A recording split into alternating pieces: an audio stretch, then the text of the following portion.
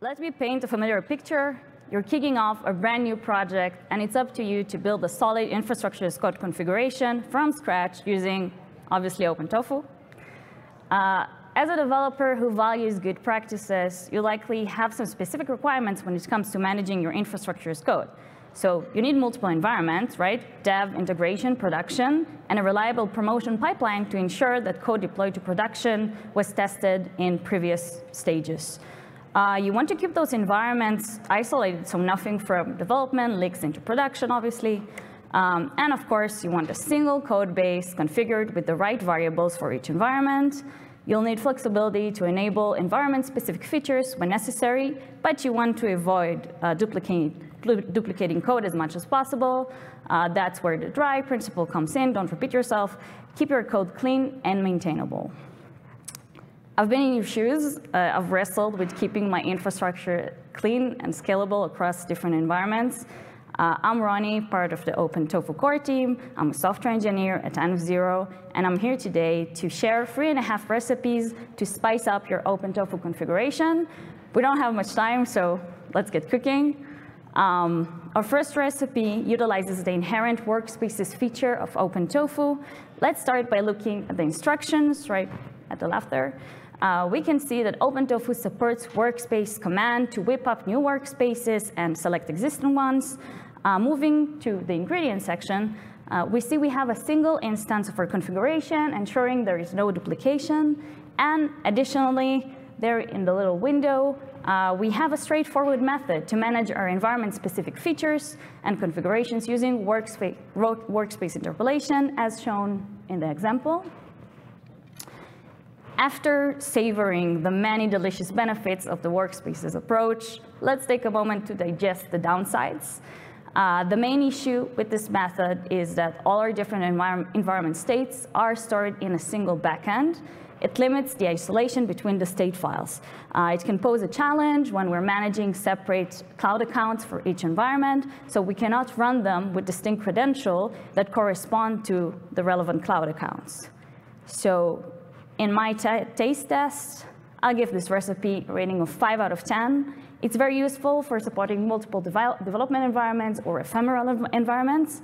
Um, but when it comes to heavy cooking and managing distinct, distinct environments like development and production, it tends to fall flat like a souffle. Uh, let's ex explore what else we have in stock with our second recipe. Uh, the instructions for this recipe are very simple. You just need to go to the right directory of, of the environment and run tofu plan and tofu apply. Um, however, when we look at the ingredients, we notice that there are duplicated configuration for each environment. Uh, both the development and production environments are utilizing a shared module, the networking module there, uh, but each one receives different parameters. Uh, each environment can also include its own auto.tfvars file, making it really easy to set different configurations for each environment. Well, while this recipe really results in a visually clear solution with effective modularization, its major drawback is that it requires st strict discipline in the kitchen. It's tempting to add resources straight to the duplicated configuration, which can lead to the risk of configuration drift when the code diverges between the different environments. As the number of environments grow, uh, managing these duplicates become increasingly harder, especially if you're, if you're scaling just beyond a few environments. Um, so my score for the taste test is 7 out of 10. It's suitable for a small project or those that require extensive customization uh, across different environments. However, I do not recommend it for big projects that involve uh, a lot of chefs and contributors.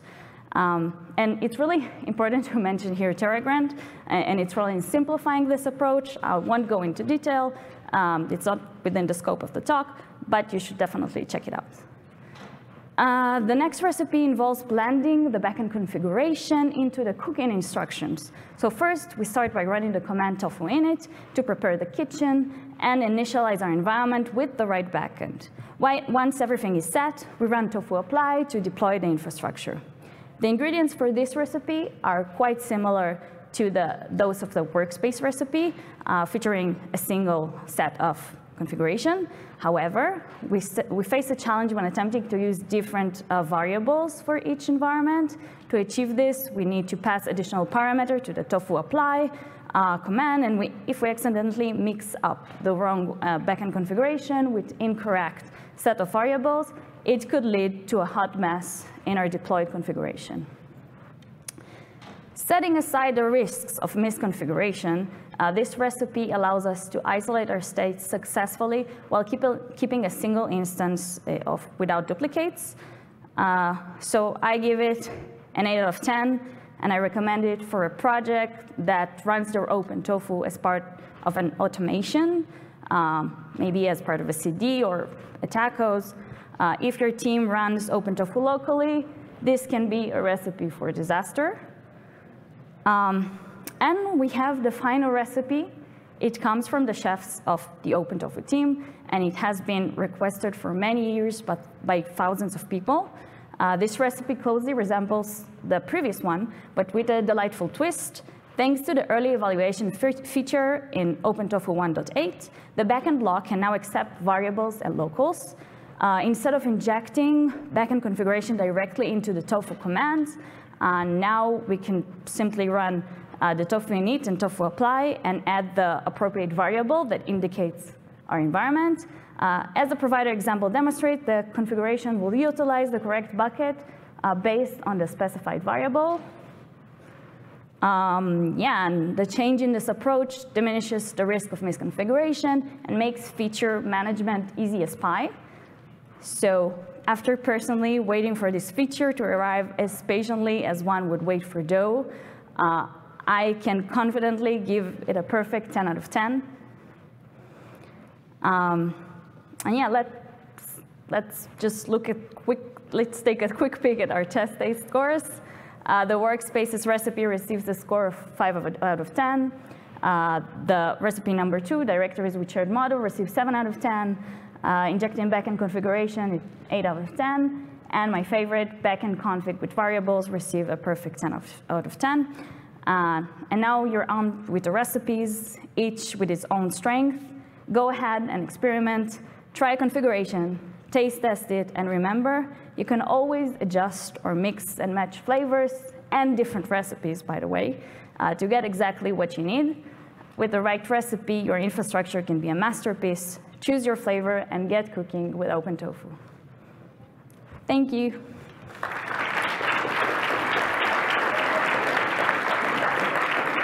Okay, it was quicker than I expected. So do you have any questions? We have like three minutes, apparently.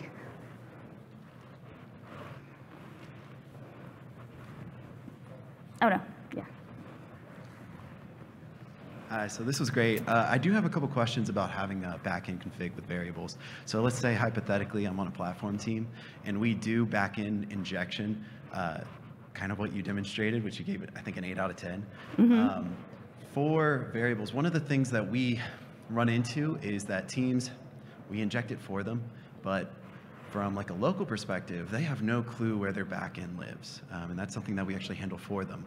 Could VARs be potentially a way to mitigate that if they're testing things locally?